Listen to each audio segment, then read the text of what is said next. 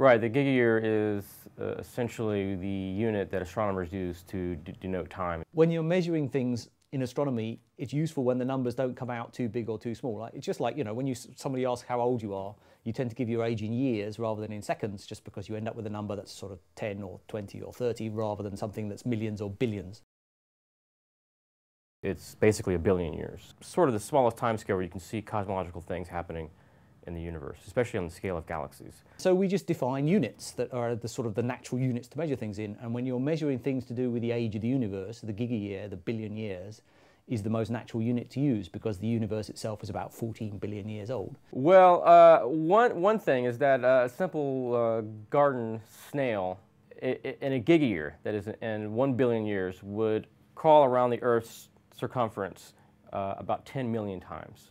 So you can imagine it would take quite a long time for garden snail to, to, to even move a short distance, but in a gigayear, it could go around the, uh, the Earth uh, 10 million times, which is already a number which is already too hard to understand. So when you call it a gigayear, you kind of hide how big it is because it's you know 13.7 gigayears, and that sounds like quite a sensible number. It's only 13.7, but actually you know you've hidden all the all the stuff you don't really have a grasp for in the unit 13.7 billion years. And how long is a billion years? It's not something that I have any real physical feel for. It, it, to, to, to, try to understand what a gigayear is is very difficult. It's, it's, like anything with, with astronomical units, with distances, with times. Uh, human beings really can't envision what exactly you know, a gigayear is. If I'm told that the Earth is 4 billion years old, or 4 gigayears old, then I immediately put that in the context of knowing that the universe is 13.7 gigayears old, and so you know the Earth's about a third as old as the universe. So in those kind of relative terms, you can kind of understand it. But then when you sort of step back and think, well, how big is a billion years? How big is a gigayear?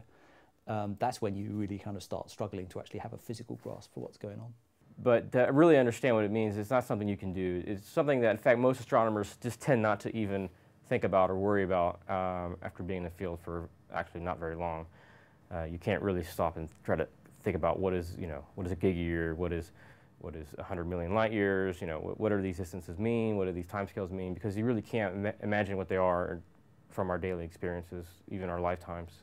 So, for example, one of the things that's a very active area of astronomy now, one of the things we study here in Nottingham is the formation of galaxies. Something that would happen in a gigayear would be, for example, a galaxy merger.